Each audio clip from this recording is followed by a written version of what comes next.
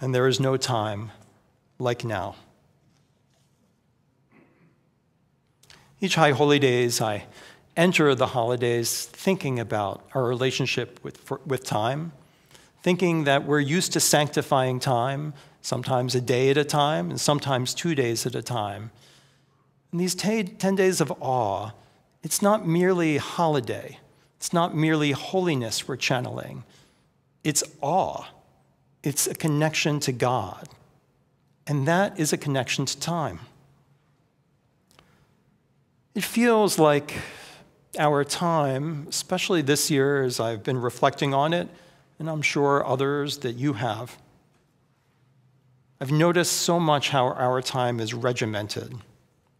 Those who have had the pleasure and the edification of studying with Rabbi Daberson from Masachet Brachot um, this year wonderful way to spend this, uh, this past year, year and a half, and, and in the past, or studying Masachet Brachot in other places and gap years in Israel and various Jewish institutions.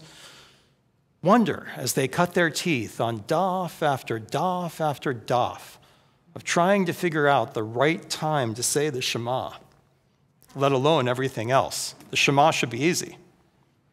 Realize that in many ways, what the Talmud's trying to understand is how do we all get on the same page of time?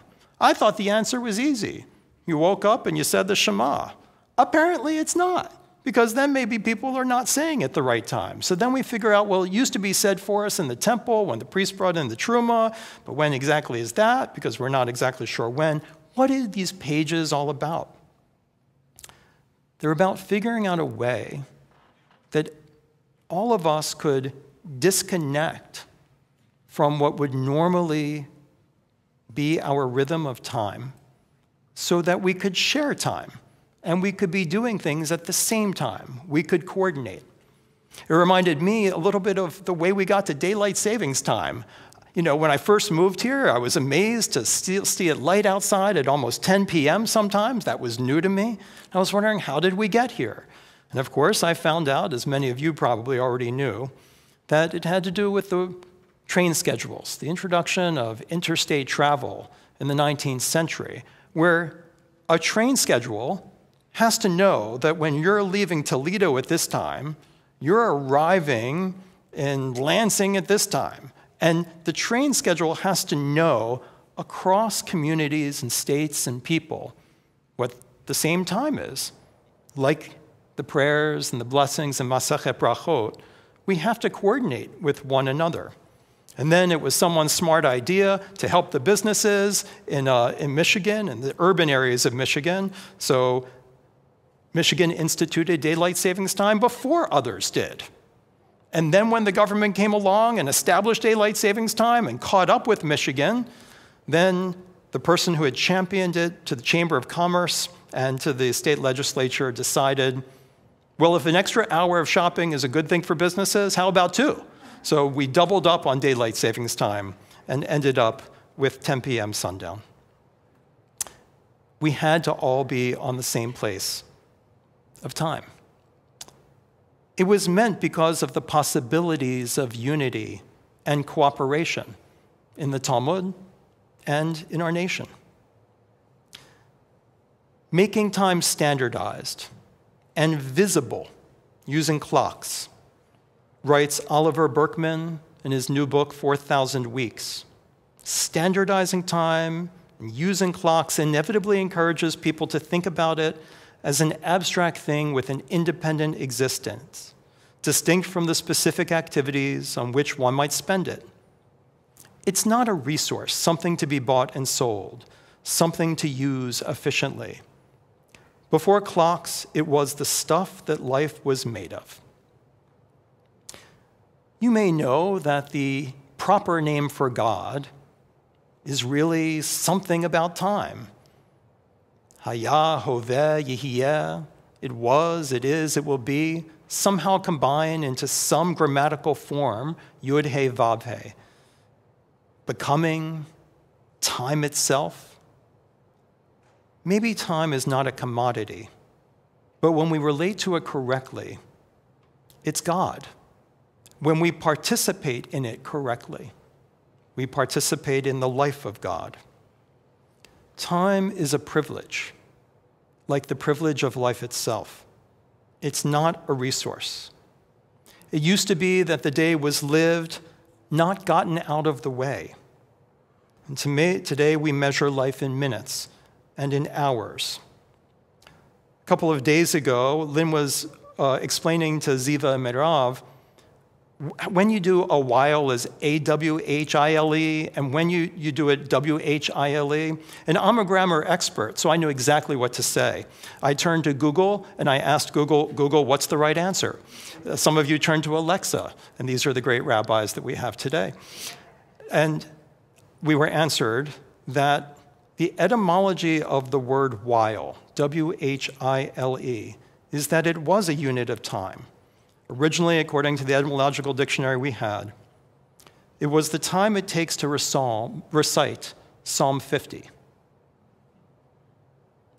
We used to measure time and how long it took to recite a psalm. Now we measure it by the resource that we have to get through in order to get to the next thing where I have to meet somebody or have an appointment or a meeting.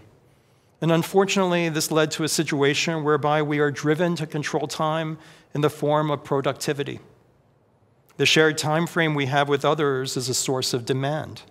It's risky, it's uncertain. We must rise to the occasion of taming it. What was meant to free has enslaved. Burkeman writes It's scary to confront the truth that almost every, anything worth doing, from marriage to parenting to politics on and on, depends on cooperating with others and therefore exposing yourself to the emotional uncertainties of relationships. The time of community was meant to allow us to be together and accomplish things together. It was meant to find our way to a space that we shared, that humanized us, not tortured us. Every decision to use a portion of time on anything seems to represent the sacrifice of all the other ways in which you could have spent that time but didn't. And to willingly make that sacrifice is to take a stand without reservation on what matters most to you. This confrontation with limitation also reveals the truth that freedom sometimes is to be found not in achieving greater sovereignty over your own schedule, but in allowing yourself to be constrained by the rhythms of community, participating in forms of social life where you don't get to decide exactly what you do or when you do it. And so it can lead to the insight that meaningful productivity often comes not from hurrying things up, but from letting them take the time that they take the time inherent to the process itself. In other words, time used to be task oriented. You didn't have to look at the clock, you milked the cow. And you milked the cow for as long as the cow needed to be milked. And then you ate. You ate as long as the meal took. And then you moved on to the next task. And so life was broken up into tasks. Maybe if you were lucky to be an ancient Hebrew and you were a shepherd, you would find yourself with the goats out in the hills and watch as they munched on their weeds and brush, made sure none run, ran away, and composed psalms that later we would count time and how long it took to recite them. Ritual today is meant to teach us about allowing time to be. Some people will ask me, Rabbi, can you tell me when the Torah service ends tomorrow? And I can tell you exactly when the Torah service is going to end tomorrow because I've spent years working on it. The Torah service is going to end when we've read the Torah and talked about what it means, and then dressed it up and put it back in the ark. And after that is exactly when the Torah service is going to end we would let process dictate how the time unfolded.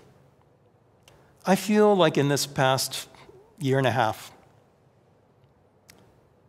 a little bit of that sense of time has snuck back into my life. A little bit of the sense of time that this is going to take how long it takes. And I will get to the next thing when I get to the next thing. But I'm going to be with the person I'm with now, or I'm going to be on the call I'm with now, or I'm making the meal that I'm making now, and I'm not rushing to the next meeting or to the next meeting. I feel we lost something this year when a creeping insight into that gave way to the demand for productivity.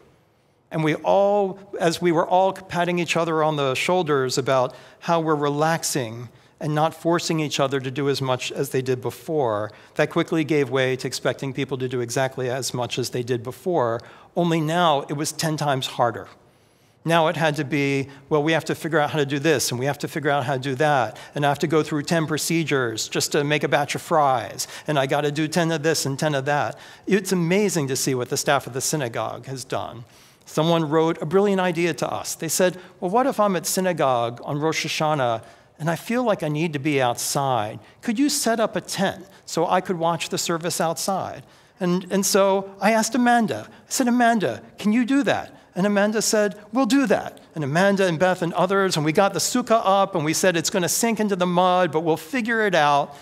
And then we called people to see if they could help, but people are busy, and that's okay. And we put it up everything we can do to try to make things, everything takes 10 times longer. Everything is 10 more options. I want to bring us back to that sense of time, not as a commodity, not something in which we judge ourselves by our productivity, but where we give up our control and allow ourselves to live in time, to live in God. I was listening to a guy on NPR about email, and it was a book on the email and how email is destroying the economy. And I wasn't fully following it. And he basically said, look, I've got hundreds and hundreds of emails, and I couldn't return them all because, after all, we've created a system which makes perfect sense, which is anyone in the world at any moment of their convenience can immediately ding you on your phone with something they'd like from you, and they'd like it as soon as possible. And you're only one person, so you can only answer so many, but the entire world is open to emailing you at any moment, so somehow that's supposed to make sense. And what he said in his study is he tried really, really hard to say, every time I get an email, I'm going to respond to it right away. And he got through hundreds and hundreds and hundreds of emails, and guess what happened? Everyone started emailing him more because he was the one person who was answering emails. So now instead of being behind on hundreds of emails, he was behind on thousands. He says in his work with uh, corporations, he's found that many, many workers, since they're spending their time at work answering emails, the real work that they have to do they do it home and at night and on their off time because it's the only time they can actually get to it. We filled our time with making ourselves productive, and it hasn't made us more present, and it hasn't given us peace. We fill time like we filled the mold of the golden calf. The more we could put, we could put in it, the better it felt. But the mold had no purpose, it was a pre done mold. Rather than shaping our lives around the natural and holy processes of being with people, of being with nature, of being in the moment with the processes that we do. Not controlling, but being present.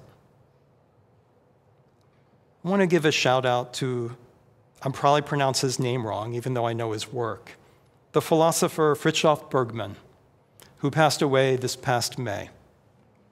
I knew Bergmann's work from a long time ago.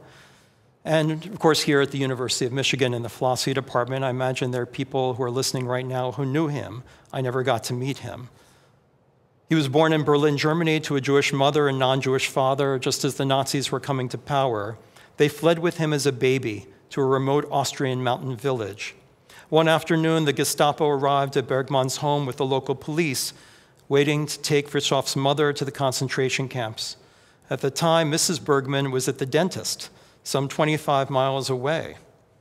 And the local police um, convinced the SS officers to return the next morning to get her. The family staged her suicide that night in a nearby lake. When the Gestapo came in the morning, they found the family stricken with grief over an apparent suicide, no trace of the body. His mother dressed up in an old nurse's uniform from World War I and strangely got on the same train that they were exporting Jews back to Germany for the death camps. And she ended up back in Germany, where she miraculously lived out the rest of the war under her false identity. Her job nursing American prisoners of war back to health. Remember, she was dressed as a nurse. Back in the Austrian mountain town, Frithjof's father was imprisoned with no caretakers in the brutal atmosphere. The Gestapo figured we'd die anyways, he says. And so the five children were left to fend for themselves in the village. And they did. Frithjof wrote a essay that got him a scholarship to, to study in the United States. He studied at my alma mater made his professional career here at the University of Michigan. One of his major contributions is to say that we are less free than we think. We are free when we do purposeful activity that connects with how we identify with meaning, identify with what we should be doing in the moment. And he invented the concept of new work. And he went out to Flint, Michigan when they were closing the car plants and the GM and Ford plants, and he talked to workers and tried to build a program for them moving forward. He wrote, New work is simply the attempt to allow people for at least some of their time to do something they passionately want to do, something they deeply believe in. Most people assume that the job system we have today has existed since the Stone Age, and it's therefore unthinkable that we could actually suddenly run out of jobs. But our job system is only 200 years old, and automation will threaten the system that we have. His idea, you could call it utopian, but for utopian, he put his money where his mouth was, working with unemployed workers. And his idea was this if we could all live simpler lives with less, then we could allow the mass produced goods that are coming for us through automation. And we could then work maybe half the year at an occupation. His idea in the plants, which he introduced, he tried to convince the, uh, the companies, was rather than fire half the workers and employ half the workers, whether they could employ all of the workers for half the year and the other you know, half for the other half. And then he worked with the workers who were not working to find ways of occupying their time with things that identified with being in purposeful work. It may seem utopian, but I wonder if it's coming for us. I've looked at all the people who've been quitting their jobs over the pandemic.